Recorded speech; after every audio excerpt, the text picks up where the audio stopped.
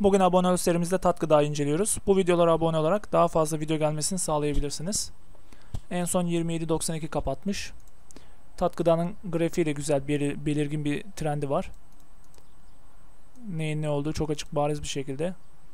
Bilen bir gözle baktığınızda belli olabiliyor. Şu anda söyleyeyim şurada aşağıda desteği 24 lira 22 kuruş hemen yazalım. 24 lira 22 kuruş. Yukarıda hemen direncimiz var. Gidebileceği fena bir seviyesi yok. Şöyle. Yukarıda da 34 lira 60 kuruşu var.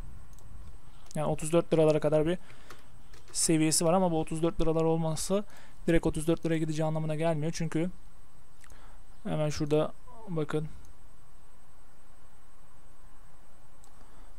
Hemen aşağıda şurada bir seviyesi daha var. 32.46 Hemen yazalım. 32 lira 46 kuruş. Hatta ve hatta biraz daha aşağısında daha şu anda dirençte gözüken bir seviyesi daha var bakın. Şöyle yaparsak tam dirençte olduğunu göreceksiniz bakın.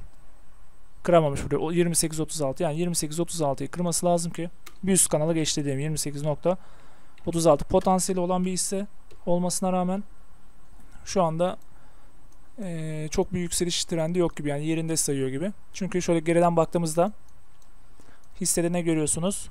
Sol omuz baş şurada bir sağ omuz yapacak gibi geliyor. Ama bundan emin olmak için öncelikle şuradaki tepeleri yani şuradaki tepeye ulaşıp hissenin biraz zaman yapıp tepeye ulaşıp buraya belki buradan direnç yiyecek. Ardından yukarı çıkıp 40'lara gelip oradan bunu şu şekilde katlaması beklenebilir uzun vadede. Ama o hemen bir anda olmaz. Önce dediğim gibi.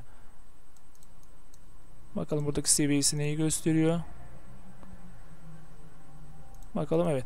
56 liralar gözüküyor. Ama buraya katlarsa, buraya katlaması için de tabii ki de önceki şuradaki tepelere gitmesi, buradan satış yer, hatta buraya gelmeden bile yiyebilir. O yüzden şu anda seviyeleri hisse 24 lirayla 24 lirayla 34 lira arasında. Yani ne olur? Şurada eğer e, şu destek kırılırsa 200 günlük ortalamada hemen şuradaki dipleri 23 liraları kendimize destek yapabiliriz. Yani o da 23.42 yazalım.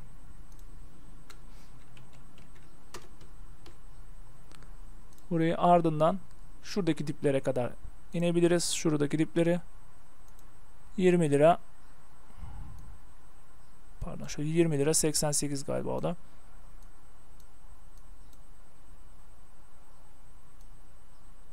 Yirmi lira 70 kuruş.